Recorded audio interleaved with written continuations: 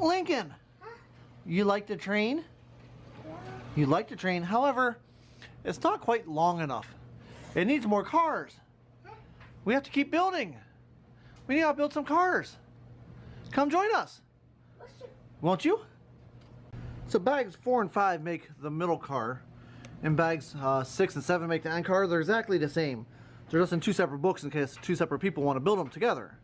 I think Kristen might come down and help me build the second car later.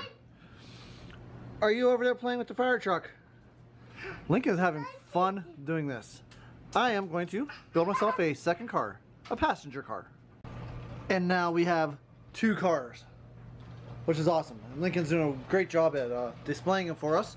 Now I thought the cars are going to be exactly the same. They're not exactly the same. They're slightly different. And I'll show you the difference. Well, when I'm done building this second or second passenger car, the third car of the train. Yeah, uh, I'm giddy again. I'm super excited. Can't wait to get all three cars. And I kind of know why now everyone buys two sets of these. So they can have six cars and it looks that much better. Uh, maybe in the future, not right now. But yeah, I'm going to build the third car. Then we'll go kind of get a close-up of them see the slight differences between them. And there we go. A finished train. I love it. I'm addicted. I want to go buy another train.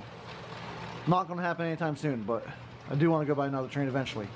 Uh, what I need now is a uh, train station, like a real train station, not just a platform, an actual train station. So eventually I'll go get one of those. Uh, I don't know when. Uh, what I want to do now is tear apart the city and lay the full track out. I got some more track I got to put on this, make it a little bit bigger, and go from there.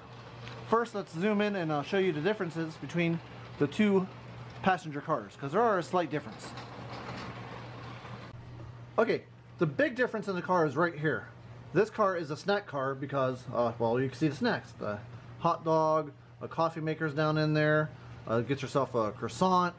Uh, also, this car is designated the wheelchair car. So this has wheelchair access. Whereas the other car you can't see is just solely a passenger car, but it's also designated a uh, bike car. So you can put your bike in there and uh, take it with you too. Well, that's really the only differences between the two cars. So they're pretty close to being the same, not exactly the same. Uh, just thought I'd point that out because I thought at one point they were exactly the same. Shows you how much I know. So here's more of a ground view of the train. And what we'll do here is if I can reach, turn off the lights so we can see the headlights on the train. I think they're cool. I mean, I'm really happy with the train. Uh, like I said, I love having a train. I'm addicted to trains now. Cannot wait to expand the tracks, buy more trains, uh, expand the city. Yeah, I'm excited. Cannot wait. well, there you have it. The express passenger train ready to take passengers around my city. Uh, next thing is to kind of clear out the city, start from scratch, put the rest of the train track up, and uh, kind of begin the city all over again. Got a lot of stuff to add to it, a lot of, a lot of stuff to build. Cannot wait to get started on it. Make sure to check back to see our progress. And remember, keep on building. Bye guys.